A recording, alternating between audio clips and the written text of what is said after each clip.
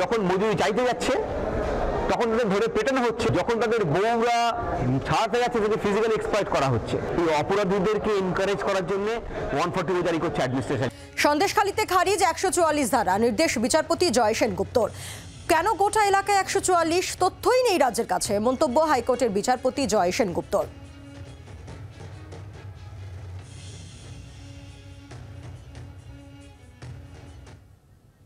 নির্দেশ দিলে one forty order সেটিসাইড করেছে। কারণ আমাদের আর্গুমেন্ট ছিল যে এইভাবে পুরো সন্দেশখালী এলাকার উপরে ওয়ান ফোর্টি জারি করা যায় না। মূলত এটা একটা দ্বীপ এরিয়া যে শিবু হাজরা, যে অপরাধী, সে অভিযোগ করেছে সাধারণ মানুষের বিরুদ্ধে আর প্রতিবাদ করছিল বলে। প্রতিবাদটার কারণ কি? তাদের জমি নিয়ে নেওয়া হয়েছে, তাদেরকে ডেলি লেবারে পরিণত করা হয়েছে। যখন মজুরি চাইতে যাচ্ছে, তখন তাদের ধরে পেটানো হচ্ছে যখন তাদের বউরা ছাড়াতে যাচ্ছে তাদের ফিজিক্যালি এক্সপ্লয়েট করা হচ্ছে।